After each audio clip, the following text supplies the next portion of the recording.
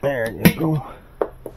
Hey guys, I'm Chip and today I'm going to show you how to change the uh, seal for the worm gear shaft that's inside a Whirlpool style transmission. This might be on a Whirlpool machine, could be on a Maytag machine, could be on a Centennial machine, Estate machine. Any machine that Whirlpool has parts on, this transmission is going to be in it. Sometimes you look down there and it'll be leaking uh, oil under under your client's machine or maybe you bought a machine in, in your own machine that you're going to fix but it will leak oil sometimes and this is probably the main culprit. It's going to be the seal that's right behind the motor coupler coupling right behind the motor on, on that machine. So let's get right to the video. I don't like work on dirty parts, so I'm, I'm going to clean this with a little uh, cleaner that I, I got from a, the uh, uh, supermarket. And right here I'm using a, I started out using a nylon style brush and I changed to a wire brush because it was kind of difficult to get into these these spots and uh, it was pretty aggressive grease.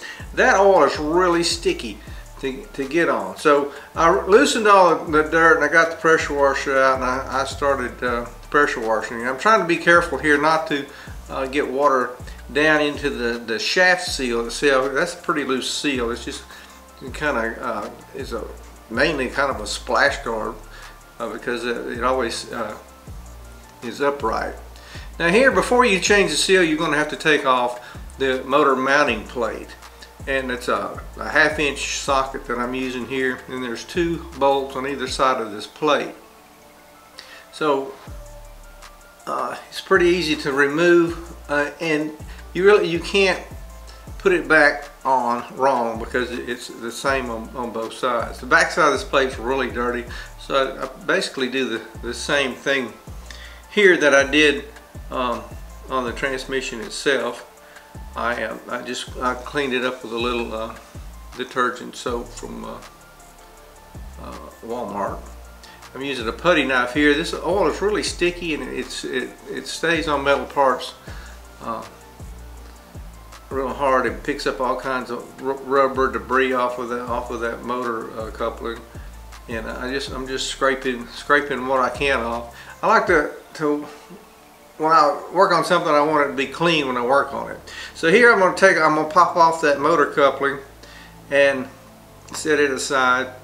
I'm using a screwdriver and a, a throwaway shop towel to get down in the, the groove where that seal is to, to get all the dirt and grime out.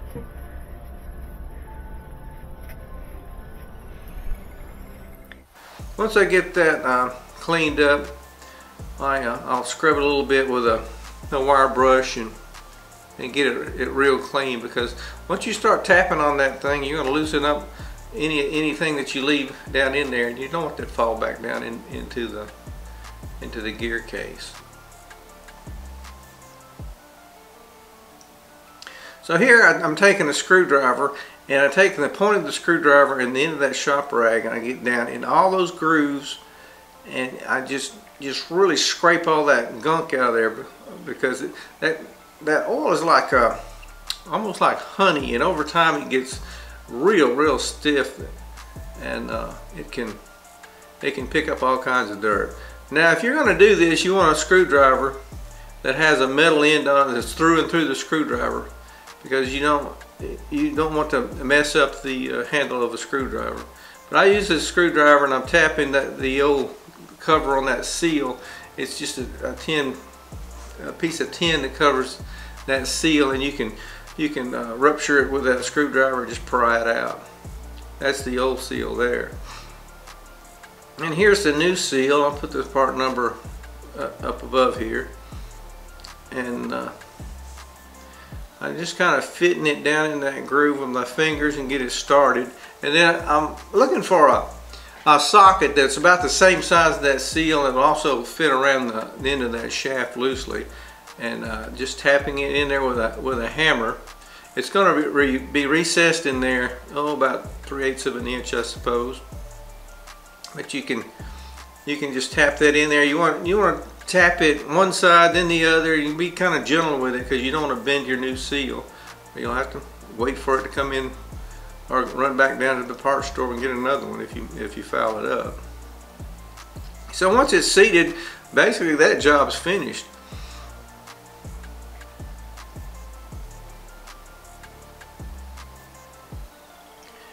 Now after I did that, I, I examined this uh, motor coupling and it uh, it just wasn't up to my standards of, of work. It, kind of wallered out and loose, and uh, I want anything I want when I put stuff back together, I want it to be uh, tight and and it, so that it won't come back to me. Because what I do, I'll take these machines and fix them and sell them, and uh, you sell them to a customer, and you don't you don't want your customer calling you the next morning and saying, hey, uh, this machine you sold me, uh, it quit, or it's doing this and making noise, or it's full of water and won't agitate. So I always put these new parts back on. Now to put that uh, motor coupling on you, uh, it's basically the same thing. You just use a, I use a half inch socket and a hammer. And uh, these new motor couplings are, they have a, a metal insert inside them and you just line it up with the slots on the on the worm gear shaft and just tap it in gently. And you tap it in where uh, where the shaft and the and the motor coupling are, are even together.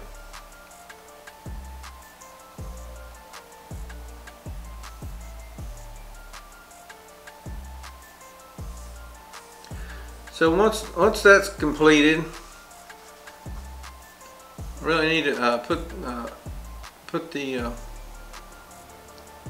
the motor plate back on, and I always clean up everything. I don't want I don't want nastiness on, on these machines. The, the the more you clean something, if you clean it, the more it'll last. I don't know why, but that's just what I found out. And in life, you you keep a motor clean, it's going to last a lot longer than one that when it isn't. Uh, so here I'm using a steel brush or a brass brush, I think, and uh, just scrubbing the, the nasty off of this motor uh, plate. And that motor plate, when you put it back on a transmission, there's a lip on it that's that's pressed uh, to one side and you want that lip going outward from the transmission. It doesn't matter, you can turn it up or down, uh, it doesn't matter, it's only going to go, uh, it, it's the same in either direction, you can't mess it up. Uh, so I could flip that completely over and it would fit too, but but you want, the only thing you want, you want that, uh, the lip on the edges of that and in the center to be turned out toward the motor uh, area, not toward the transmission. And you re, uh, reinstall your half inch bolts and uh, tighten them down. I don't use a torque wrench on stuff like this. I just tighten them. Uh, I tighten I, I tighten them snug and, and just give them a little nudge to where they're not going to back out. It's really not necessary to torque this kind of stuff. Of course, I always put my tools away. And as a bonus in this thing, there's a, a clutch involved. I'm going to put a new clutch in, on this machine too. I would have changed the uh, the neutral drain in this transmission, and, and, I eventually did have to because it, it wasn't working like I liked. So uh, I uh, I didn't have any of this day, so I, I didn't didn't do it. Of course, when I took this clutch uh, out of the box, it had the wrong spring in it. And the way I know that is that machine there is a standard size machine.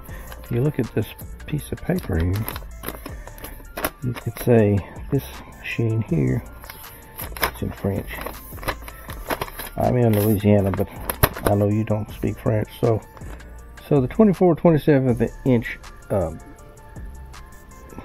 case is uses a blue spring, which is this, and that is a 24 27 inch case. And this one has the black spring in it. They call that black, I call that dark green myself. Anyway, change that, you take those out. Watch these caps on the end because they fall off. Make sure you have a um, vibration dampener inside the spring and then put it back on. When you put this back on, you want to make sure these these feet looking thing are put down into the clutch uh, bell.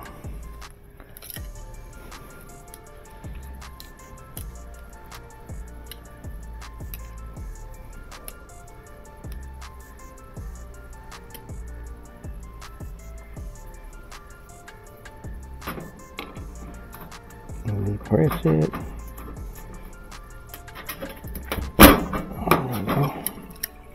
There we go. Extra part. Need that, need that. Make sure that this is on the bottom. Goes over, those ears fit in like that. Retainer ring goes in. This bent piece goes in that little hole.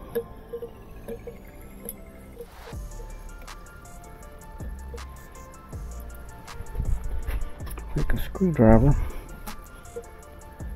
and you want to start it in the grooves.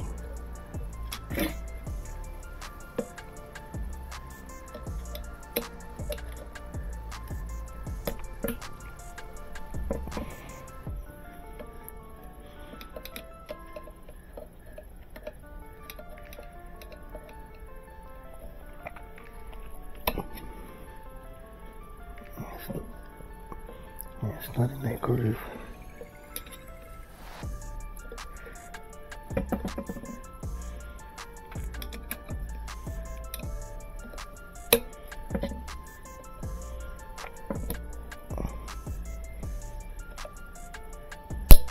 There we go. There it is. Hmm, and of course it's dirty. Minutes to quitting time. I gotta get out of here. Let's see, clip those those two grooves on the shaft. Oh, and I can put that on with my fingers. Imagine that.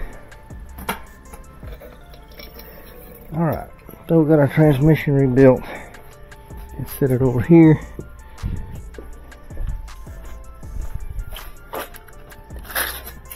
Five minutes to four, but we'll just take that five minutes. Alright, till tomorrow.